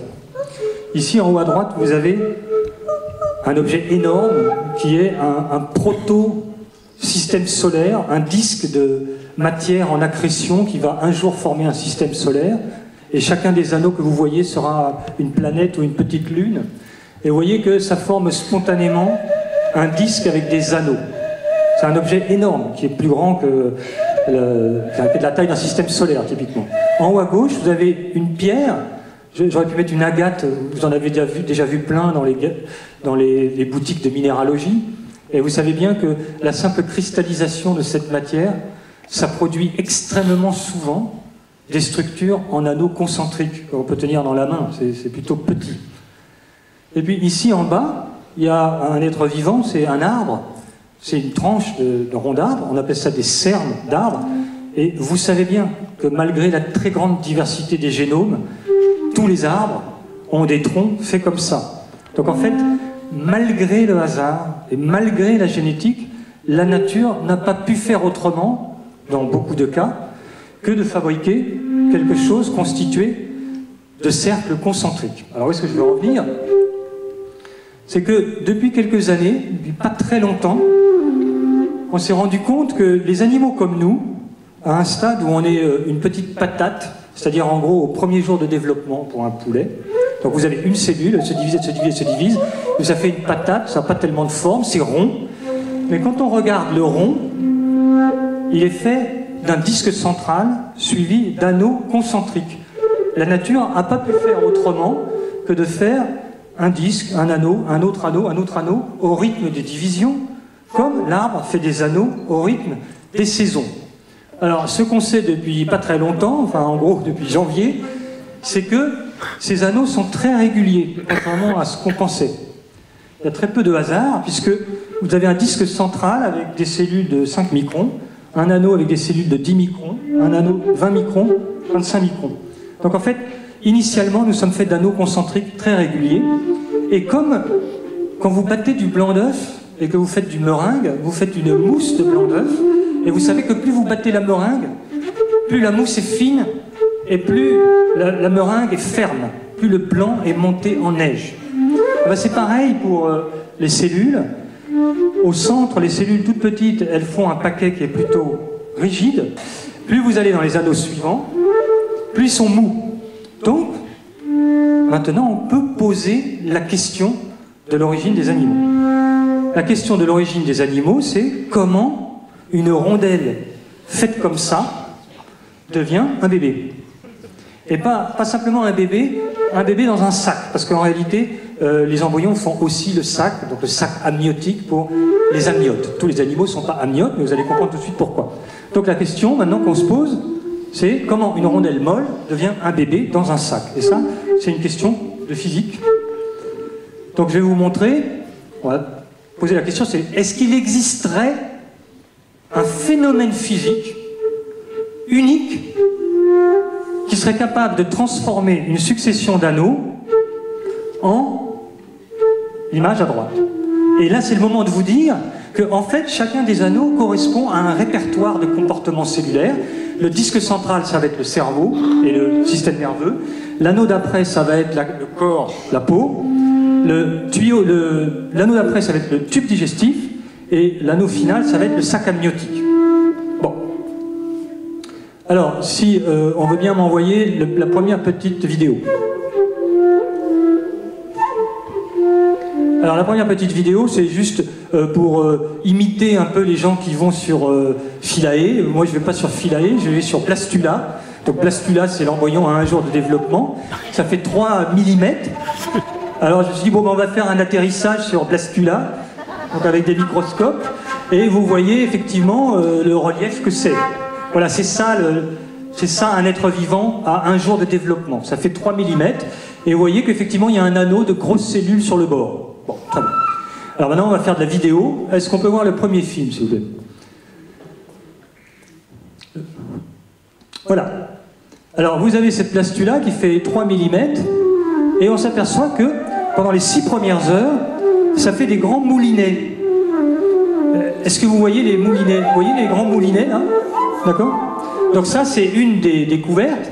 C'est qu'en fait, la formation des animaux, ça commence par des tourbillons, parce que vous avez des anneaux emboîtés les uns dans les autres, et l'anneau du bord est fait de plus grosses cellules, et les grosses cellules tirent plus que les petites, et par symétrie, ça engraine des espèces de grands moulinets qui pourraient vaguement évoquer des spirales de galaxies. Et si vous êtes attentif, vous voyez qu'à gauche, les moulinets ont l'air de tasser le tissu. Alors, est-ce qu'on peut voir le film suivant, s'il vous plaît? Alors, effectivement, on voit que les moulinets se tassent à gauche, et le tassement, un peu comme quand je pousse du beurre avec mon couteau sur la motte de beurre, les deux moulinets se tapent l'un contre l'autre, et ça fait un espèce de pli, et les tourbillons essaient de, s'échapper l'un l'autre, ils font une collision, et ça fait une espèce de subduction, ça rentre par une espèce de fente, et ça repart par en dessous. Et donc, une fente apparaît par collision des tourbillons, et alors il va falloir peut-être éloigner les enfants, parce que la fente et, le trou que vous voyez, en fait, ça va être l'anus. Donc à partir de maintenant, je suis désolé, ça va être un petit peu ironique dans ce contexte philosophique, c'est que en fait la première chose qu'on se fait nous-mêmes, c'est l'anus, et nous allons être fabriqués par la moitié de nous-mêmes qui s'introduit dans nous à travers un trou qui est créé en premier, qui est l'anus. Alors tout le monde voit les cellules, hein, vous voyez, ça c'est à peu près la taille totale du futur bébé. Est-ce qu'on peut voir le film d'après, s'il vous plaît? Alors maintenant, avec les techniques actuelles, on peut mettre une caméra à l'intérieur du, trou quoi, dont j'ai parlé. Et, et on voit que en fait, les cellules qui sont rentrées par le trou, elles sont parties à l'envers, un peu comme un carrousel de valises à l'aéroport. Elles sont rentrées, fait la subduction, la tectonique des plaques. C'est à plus grande échelle la tectonique des plaques. C'est la même physique que ça. C'est un écoulement viscoélastique qui rentre par un trou. Et ça s'écoule comme une gélatine qui serait rentrée dans l'anus. Et comme on peut le voir, la gélatine qui est rentrée tire sur la surface. D'accord? Bon, là, est-ce qu'on peut voir le film d'après? Alors, qu'est-ce qui se passe quand vous avez de la gélatine qui tire sur la surface d'un disque très très très très mou? Alors là, c'est la moitié. L'axe du corps est en bas. Pour les besoins du grossissement, pour que vous puissiez voir les cellules, j'ai fait un film avec le milieu du corps mis en bas. Le trou que vous voyez là-bas, c'est vraiment euh, le trou, quoi. Et vous voyez, ça tire. Et qu'est-ce qu'on voit? Ben, On voit rien de spécial, en fait. Ça tire et ça déforme, euh, ça déforme simplement en tirant. Vous voyez Est-ce que tout le monde a une sensation que ça tire? Oui? Ça va? Mais on voit rien de spécial. Alors, est-ce qu'on peut voir le film d'après, s'il vous plaît? Alors, bah, on s'est un peu éloigné de la comète. Au début, on l'a vu de très près, là, on la voit d'un peu plus loin. Donc, on voit que ça tire, ça tire, ça tire, ça tire, ça tire, ça tire. Et on voit vaguement apparaître un petit pli là. Alors, est-ce qu'on peut s'arrêter sur la dernière image, s'il vous plaît, en cabine Pas là, plus loin. Stop Merci. Euh, C'est pas évident parce que c'est accéléré quand même monstrueusement. Ça dure 12 heures. Alors, vous voyez que, d'abord, vous voyez les anneaux dont je vous ai parlé. Vous les voyez les anneaux à droite là D'accord? Vous les voyez. Si vous êtes très attentif et si mon film est bien fait, en haut, vous devez voir qu'il y a des grosses cellules. On les voit à l'œil nu. Les gens au premier rang, là, pour ceux qui sont au fond. Vous confirmez qu'en haut, on voit un anneau avec des grosses cellules, là, vous voyez les petits granulés en haut Oui Et quand vous regardez au centre, on les voit moins bien. Les granulés sont plus petits. D'accord? Donc vous avez bien une espèce de disque central qui a été déformé vers l'arrière, qui est fait de petites cellules, un anneau autour qui est fait de grosses cellules et un pli qui se forme strictement à la frontière entre les deux. C'est-à-dire que l'information pour fabriquer des animaux est située à la frontière entre les petites et les moyennes cellules, les moyennes et les grandes cellules, les grandes et les plus grandes cellules. Alors qu'est-ce qui se passe si je continue à tirer? Parce que l'anus, il s'arrête pas, il tire, il tire, il tire, pour aller jusque-là, et pendant ce temps-là, il fait le reste du corps. Alors est-ce qu'on peut voir le film d'après, s'il vous plaît? Alors ça tire, ça tire, ça tire, et paf, bingo Alors si vous, vous avez bien regardé, vous voyez un cylindre se former comme si je roulais du papier à cigarette. Parce que tout le monde voit que ça a l'air de rouler un cylindre. Oui D'accord Et ce cylindre est roulé exactement sur le trait qui sépare le futur système nerveux du futur corps. Donc, ce cylindre, c'est ce qu'on appelle le tube nerveux. Ça va faire le cerveau, la moelle épinière, etc. Alors, le cerveau, c'est une espèce de grosse hernie, mais enfin, en gros, c'est un tube. Bon, alors on va voir qu'est-ce qui se passe quand on continue à tirer. Est-ce qu'on peut voir le film d'après, s'il vous plaît? Hop, ça fait le cylindre, le tube nerveux. Alors ça se propage, ça ferme le tube, ça fait les vertèbres. Et si vous avez suivi, alors maintenant on va regarder plus haut, il y a un deuxième pli qui apparaît et qui sépare le deuxième anneau du troisième. Donc en fait, quand vous tirez comme ça sur une rondelle qui est faite d'anneaux concentriques, vous faites une structure qui est un cylindre, mon système nerveux, avec un cylindre, mon corps, si j'étais une anguille, et euh, un troisième cylindre qui est le tube digestif, alors qu'on ne voit pas parce que ça se passe de l'autre côté, en dessous. Et j'ai dit, il y a un quatrième cylindre, ça devrait être le, le sac amniotique. Alors je ne vais pas vous montrer le tube digestif parce qu'on m'a donné que 2 minutes, 10 minutes pour vous expliquer les animaux, mais je vais vous montrer le sac amniotique. Alors est-ce qu'on peut voir le film d'après, s'il vous plaît? Alors voilà, la tête est faite, Voilà, ça a été très très vite, alors on va le revoir en boucle. Vous allez voir qu'il y a un anneau sur le bord, et l'anneau sur le bord se referme, et emballé c'est pesé, il emballe les trois tuyaux qui ont été faits avant. D'accord? Tout le monde a suivi? Hein? Donc vous avez le premier anneau, il se ferme comme un paquet de euh, une feuille de cigarette, il fait un tube, le deuxième fait un tube autour, et l'anneau qui est sur le bord se referme comme un cordon de porte-monnaie pour enfermer le bébé dans un sac. Est-ce qu'on peut voir le film d'après, s'il vous plaît? Et on voit bah, la fin de la fermeture de ce disque, de ce, cet anneau qui était sur le bord et qui se referme pour faire un sac. Le résultat, c'est que en trois jours, pour un poulet, vous faites un bébé dans un sac. Donc ce n'est pas si compliqué que ce qu'on pensait. Alors, euh, on va laisser la vidéo. Et ce que je vais vous proposer, c'est simplement de le voir avec un objet qui n'est pas un bébé, mais de le faire avec du latex. Ça va vous illustrer deux choses. Euh, le changement d'échelle, qu'on peut faire quelque chose à des échelles différentes, et le changement de matériau, même avec un matériau différent, ça marche. Et donc ça va vous illustrer l'universalité des processus physiques. Alors, j'ai amené un peu de matériel ici pour faire la démonstration. Mais alors comme j'ai ma main droite qui est prise par mon micro, je vais avoir besoin d'une assistante. Est-ce que je peux avoir une assistante? Ah, bonjour. Bonjour. Bonjour, bonjour. Euh, tu t'appelles Marie-Odile, je crois? Euh, oui, oui. Très bien. Euh, il faut regarder vers la salle, que les gens puissent bien nous voir. Marie-Odile, est-ce que tu as déjà fait une expérience de physique dans ta vie? Oui, de petites expériences, oui. Très bien. Bon, alors on va faire une petite expérience. Ça va pas faire mal. Enfin, en principe, ça fait pas mal. On fait ça. Donc, c'est du latex. Euh, vous pouvez acheter ça chez Decathlon. Ou sinon, je suis sûr que vous trouverez chez vous euh, quelque chose en latex qui soit suffisamment fin pour euh, faire la même expérience. Donc, vous voyez, c'est une feuille de latex. Alors, on la prend un peu par le milieu. Hein, par le milieu, voilà. C'est là où il y aurait le, trou de l'anus. Et quand on tire, ben, vous voyez se former des successions de plis qui, quand euh, ils se referment les uns contre les autres, forment un cylindre. D'accord Donc ça, c'est le... On peut tourner, voilà. Ouais, voilà, c'est ça, mais il faudrait peut-être que. Alors, ça, c'est une euh, illustration avec un matériau complètement homogène. Il n'y a pas de distinction entre le système nerveux. euh, C'est des plis sur un matériau homogène. Alors, on peut aussi le faire avec un matériau inhomogène. Alors, pour ça, je vais aller embêter Alors, on va en profiter pour voir ce qu'il fait. Est-ce qu'on peut voir ce qu'il fait là avant de, l'embêter Euh, Qu'est-ce que tu fais Très bien. Alors ça va vous illustrer un truc, c'est que nous, euh, les artistes, on fait des trucs très compliqués scientifiquement, mais vous allez voir que artistiquement, euh, c'est pas terrible. C'est beaucoup moins bien que ce que lui peut faire. Alors, on va essayer de faire un animal ensemble. Alors, on va prendre une feuille de caoutchouc, donc c'est la même que celle de tout à l'heure, et on va faire un animal euh, un peu carré, d'accord Enfin, il faut le mettre sous la, Voilà. sous la caméra. là. et on va le mettre sous la caméra, d'accord Alors, est-ce que tu veux bien euh, tenir Je veux bien tenir le micro.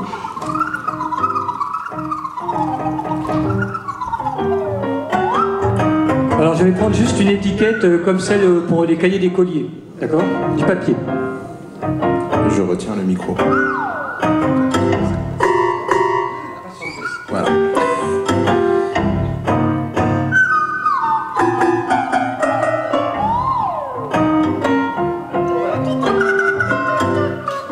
Voilà. Donc j'ai réalisé une surface un peu rigide au centre d'une surface molle. Donc c'est un peu comme si j'avais un animal carré avec au centre un carré ou un rectangle un peu plus raide. Alors on va voir si ça marche, parce qu'en général quand on fait des démonstrations ça marche jamais. Voilà. Je vais me mettre là, ça va là Voilà, et je vais tirer comme si mes deux doigts étaient euh, des anus et que je tire. Alors vous voyez ce qui se passe Vous voyez que ça, ça s'enroule, ça fait une sorte de réfraction autour de la région rigide, et à ce moment-là, le cylindre, qui aurait pu être n'importe où tout à l'heure sur un milieu homogène, s'appuie exactement sur les contours de la partie rigide. Donc c'est ce phénomène qui vous explique pourquoi les tuyaux sont associés à des cellules différentes. Et supposons que je sois arrivé à cette situation où le tube est partiellement fermé, si je continue à tirer, ça ferme exactement, en l'espèce, quelque chose comme la moelle épinière, la colonne vertébrale. D'accord? Et même si je continue à tirer assez fort, je vois apparaître des espèces de bosses sur les côtés qui sont quelque chose comme le début des vertèbres et des côtes.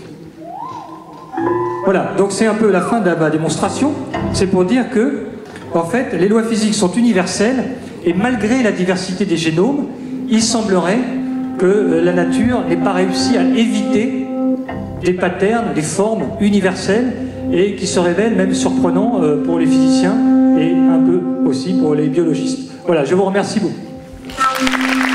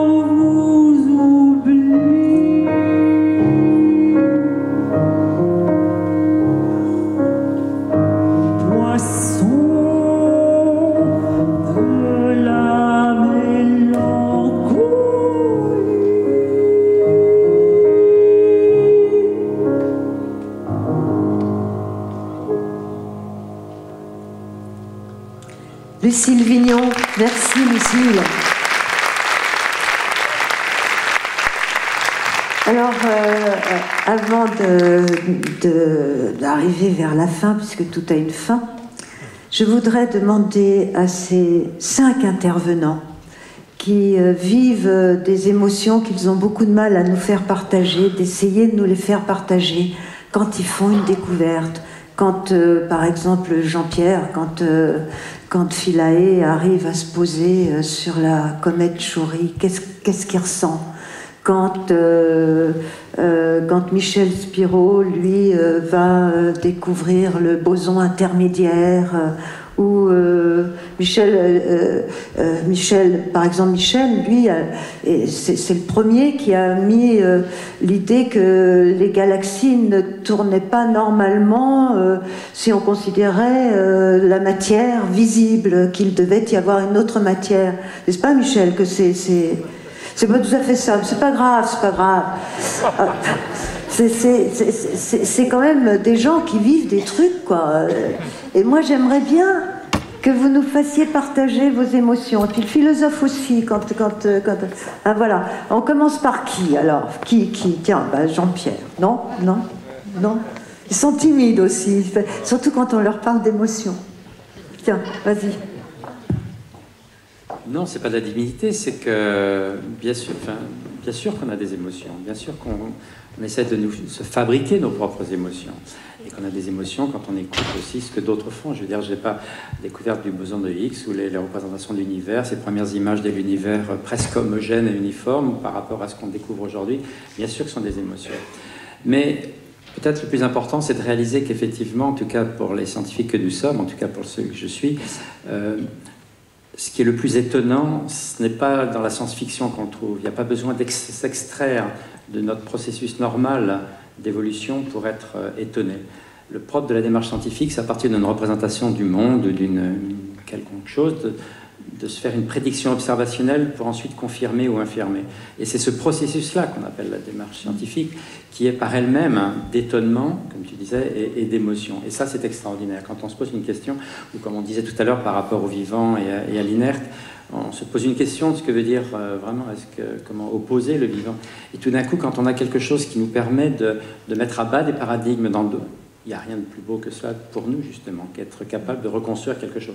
Et je suis absolument persuadé qu'une grande partie de ce que l'on fait n'a d'intérêt que, justement, ça change, euh, ça diffuse bien au-delà de la sphère scientifique. L'émotion que l'on a, c'est quand on contribue quelque part, quand on a l'assentiment de, de contribuer à quelque chose qui dépasse précisément, qui dépasse la sphère scientifique et qui commence à irriguer euh, tout un tas de pans de l'activité humaine. Je suis sûr qu'en particulier, pour ce qui est de l'exploration du système solaire, qui est ce dont on a parlé un petit peu, ou de l'origine du vivant, ou de, euh, bien sûr que ça irrigue énormément de choses. Il n'y a pas un problème actuellement sur Terre avec la, modification du climat, etc., qui ne fait pas référence immédiatement à quelque chose qui est diffus, qui n'est pas compris comme tel, qui est cette idée qu'effectivement euh, notre évolution procède d'un certain nombre de choses qui fait qu'il y a réellement, il n'y en a eu qu'une comme ça, et qu'on ne pourra pas y échapper, et qu'il faut faire avec, et qu'il y a quelque chose de tout à fait global. Donc cette émotion, elle procède effectivement directement de notre processus d'activité scientifique. Merci. Bon, bah, puisqu'il faut. Hein, non, effectivement, la, recherche, euh, ça, a été pour moi un, travail passionnant. Euh, je parle au passé parce que euh, dans notre domaine, en biologie, ça devient un peu pénible aujourd'hui. Il faut absolument montrer, pour pouvoir faire une recherche, qu'on va servir à une industrie quel- quelconque. Et le problème de, de- de l'asservissement de la recherche euh, au monde économique euh, rend la situation de plus en plus pénible.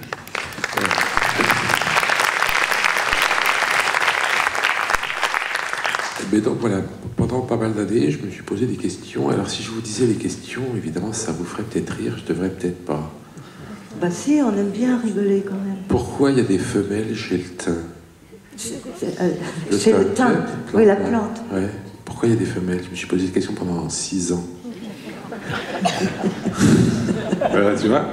De notre gueule. Ah, c'est un tout petit peu compliqué à comprendre parce qu'il y a des gènes qui sont trans. Parce que les autres, chez le thym, le thym c'est les plantes euh, en général c'est hermaphrodite.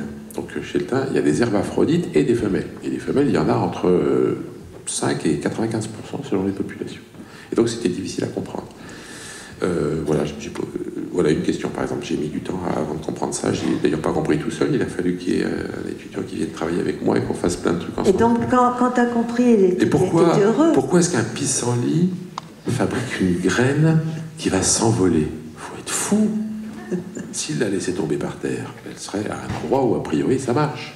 S'il l'envoie dans le vent, il y a 99,99999% de chances qu'elle tombe à un endroit où un pissenlit ne peut pas pousser. Alors voilà, deux, questions par exemple. Là, là aussi, j'ai passé pas mal de temps avec mes collègues euh, sur les graines de pissenlit. Alors évidemment, euh, on s'en fout des graines de pissenlit du sexe du thym. Pa- Parce que derrière ça, voilà, heureusement, au début, je- on me demandait de quoi tu travailles sur le sexe du thym, tout le monde se foutait de ma gueule. J'ai dit, je travaille sur comment fonctionne le sexe dans les espèces vivantes. Alors là, respect. hein. Ah c'est sérieux. ouais. Je travaille sur les phénomènes de migration. Parce que les, les graines de pissenlit, bon. Mais, alors, le plus gros de mon travail, c'était d'observer les choses qui se passaient dans la nature, et puis après, j'allais sur mon ordinateur et j'essayais de, de simuler le processus, de simuler le processus évolutif qui pouvait conduire à la situation. Et par exemple, dans ces deux cas-là, mais il y en a eu quelques autres, il n'y en a pas des centaines dans la vie d'un chercheur en général. hein. il y a eu un moment, quand même progressivement, où avec la personne avec qui je travaillais, tout à coup, on s'est rendu compte qu'on avait compris ce qui se passait. Quoi. Et à chaque fois, c'était un truc un peu compliqué. Il a fallu mettre en jeu des, des gènes qui ne sont pas transmis par le père, mais seulement par la mère. Et du coup, du point de vue de ces... Alors bon, donc j'ai, fait, on a fait des modèles, et puis il y, a- il y a eu, j'ai passé une nuit entière avec un modèle dont je ne comprenais pas pourquoi il donnait ce résultat-là. Et toutes les deux heures, je me relevais.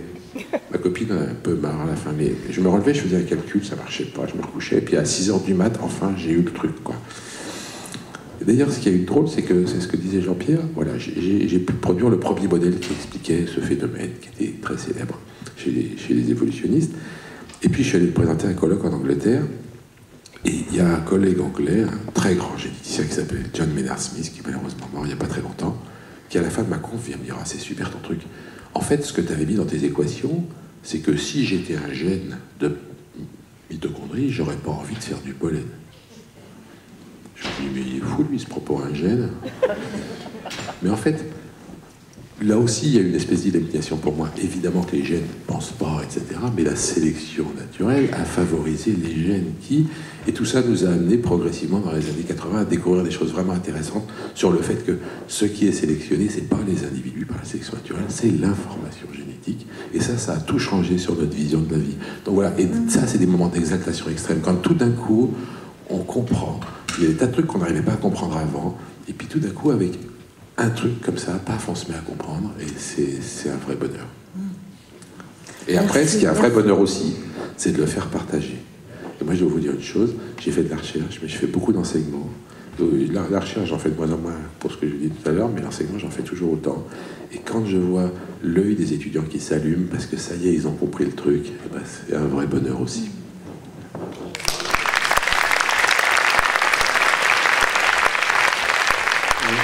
Pour ça, peut-être un brûle pour point. J'aurais envie de dire euh, trois choses.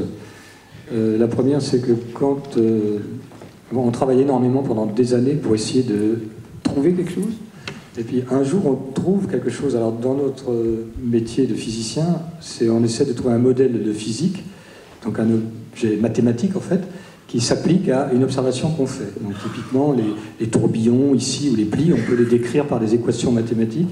Et le jour où on trouve les bonnes maths qui s'appliquent à ça, ça fait un espèce d'énorme choc. C'est très bizarre. Moi, ça m'est arrivé, pareil, au milieu de la nuit, euh, un jour, euh, de programmer des équations de tourbillons, et appuyé sur un bouton, et j'ai vu les tourbillons apparaître. C'était les mêmes que ceux qu'on voyait dans les embryons. Donc j'avais réussi à reproduire avec une équation, très simple en plus, euh, dipôle, un phénomène qui est censé avoir un 600 millions d'années à évoluer pour produire des poulets. Donc, ça paraît bizarre, l'équation du bébé, ça fait peur. Et dans ces cas-là, euh, il y a une sorte de, sais pas, de beauté euh, de l'univers qui se dégage. On a l'impression de toucher à quelque chose qui est euh, qui relie tout à tout, c'est-à-dire qui relie nous, les êtres humains tels qu'on est là, aux lois de la physique des galaxies, et en fait c'est les mêmes, et que même les, bébés, même les êtres vivants, exploitent, ou en tout cas sont forgés par ces mêmes lois, avec des spirales qui s'enroulent. Donc on voit une espèce de communion euh, plutôt belle entre euh, les choses. Ça, c'est la première chose. Et la deuxième chose, c'est euh, c'est un peu bizarre, c'est le caractère ironique. C'est-à-dire, moi, je travaille dans un milieu où on se prend quand même très au sérieux. On fait des trucs grandioses, des machines qui des milliards, qu'on met des années à construire, enfin, avec des commissions spécialistes qui vous cartonnent tout le temps. Et puis finalement, vous découvrez que c'est l'anus qui rentre dans le trou pour tirer, et c'est ça qui fait des bébés. Donc ça a un côté un peu ironique. Et, moi, je me suis, ça m'interroge. Je me suis dit, mais est-ce qu'il y aurait quelque chose d'ironique dans le monde? Qu'est-ce que ça veut dire? Ça veut dire qu'on on est un peu trop sérieux, nous, et puis que, en fait, le monde, lui, n'est pas sérieux. C'est pas un critère, le sérieux, pour la nature. Et en réalité, comme c'est pas un critère pour la nature, et comme on met beaucoup, beaucoup, beaucoup de temps à chercher quelque chose, les, les choses qu'on qu'on a mis longtemps à trouver, c'est qu'en général, elles n'étaient pas évidentes, et les choses pas évidentes, elles ne sont pas sérieuses, parce que les choses sérieuses, on y va directement. Et donc, il y a d'autres exemples comme ça, de choses ironiques. On vous parle de la relativité, et ben, tout de suite, on vous fait les jumeaux de Langevin. On vous parle de la mécanique quantique, tout de suite, c'est le chat de Schrödinger. On vous parle de la gravitation, c'est paf, la pomme est tombée sur la tête de Newton. Donc, il y a toujours une espèce d'image ou d'imagerie ironique des, des découvertes. Et je, pense que ça, à mon avis, ça, ça, cache quelque chose. Ah oui, la troisième chose que je voulais dire, c'est euh, le fait qu'on fait énormément, tous les jours on fait des découvertes qui sont toutes fausses, tous les jours. On en fait une par heure et ça s'avère faux l'heure d'après. Et de temps en temps, on fait une espèce de découverte et là, on sait tout de suite que c'est c'est bon. Et, et la raison pour laquelle on sait tout de suite que c'est bon, c'est qu'au moment où vous faites cette découverte, paf, vous en faites immédiatement une deuxième. C'est ça euh, quelque chose d'assez surprenant, c'est que quand vous avez trouvé quelque chose que peut-être vous cherchiez, vous n'étiez pas loin d'avoir trouvé, et que vous avez trouvé la bonne chose, immédiatement, ça vous ouvre la porte pour quelque chose de très différent auquel vous n'aviez pas pensé et qui... Alors je vais vous donner un exemple. C'est que ces anneaux dont j'ai parlé, il y a des gens qui les avaient vus, euh, il y a de la différenciation. alors moi je me suis parti, bon ben, je vais chercher qu'est-ce que c'est ces anneaux? Donc j'ai fait des expériences très très compliquées d'imagerie, on nettoie les embryons, etc. pour voir les anneaux. Je dis, ah bah oui, ça correspond à de la différenciation, les cellules sont différentes dans les anneaux. Et quand vous regardez les photos, c'est 5 microns, 10 microns, 15 microns, 20 microns. C'est-à-dire il n'y a aucune raison pour qu'entre le centre et le bord d'un embryon, les plateaux de cellules varient de façon régulière. Puisque on vous dirait c'est aléatoire. Donc si c'était aléatoire, Eh, la génétique Vincent, aurait dû évoluer au hasard. C'est pas au hasard. hein. Voilà. Il faut Bon, pas ben, je- recommencer toute votre il ne faut pas nous lancer, nous dire Bah de oui, venir, je sais pas nous bien, je couper. sais bien, Voilà. mais c'est- moi je passe je la parole à vous Ado. Mais merci, bravo Vincent. Michel, Je dire un mot moi aussi. Euh, Je ne vais pas parler de mes succès personnels et des joies que euh, j'ai pu avoir euh, dans les succès scientifiques, mais je voudrais parler de la joie collective que j'ai pu vivre à plusieurs occasions. Mais la dernière, bien sûr, c'était la fameuse découverte du boson de Higgs, où une communauté, on peut dire que c'est une dé- découverte communale, si on peut dire, puisque c'est une, communauté, un commun, qui s'est mis en place pendant 20 ans de scientifiques euh, venant du monde entier, hein, 10 000 chercheurs du monde entier, organisés, euh, auto-organisés, hein, puisque c'est une, commu- une communauté de scientifiques, on leur dit pas ce qu'il faut faire, ils s'auto-organisent. Euh, ils sont quand même régulés par, le CERN, qui est l'organisation internationale, et par les gouvernements qui suivent les, avancées scientifiques autour de cette aventure qui a duré 30 ans. et qui régulent les désirs de la communauté, qui sont infinis, bien entendu, en termes de ressources.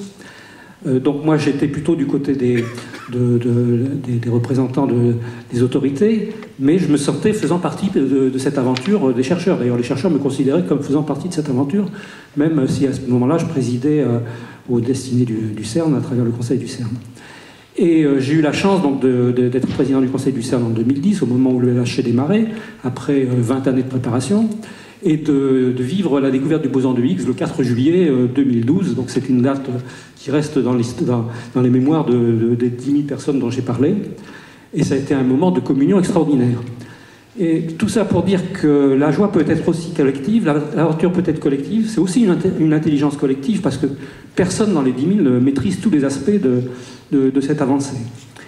Et euh, pour moi, c'est peut-être un modèle, hein, un modèle. On parle beaucoup maintenant d'économie collaborative, euh, on parle de commun, on parle de biens publics mondiaux. La connaissance, c'est un bien public mondial. Et donc, euh, j'essaie de, voir dans quelle mesure, ce, après cette fête de la découverte, ce modèle pourrait pas servir pour d'autres biens publics mondiaux, comme justement le climat, euh, l'atmosphère, l'eau, la biodiversité. Et j'organise le 2 novembre un, workshop entre le, CERN et les Nations Unies à Genève pour discuter justement de ce thème-là. merci Michel. Merci. Je suis catastrophée parce que tout ce que vous dites, euh, mais alors le- leur, leur passe. Un tout petit, tout petit, très court. Un mot, c'est ça. Un petit mot, un Alors, petit mot du Moi, je viens de philosophe. vivre euh, une heure trois quarts formidable puisque nous avons été incités et invités à penser et à admirer. Et donc euh, l'émotion qu'on vient de vivre, c'est la joie.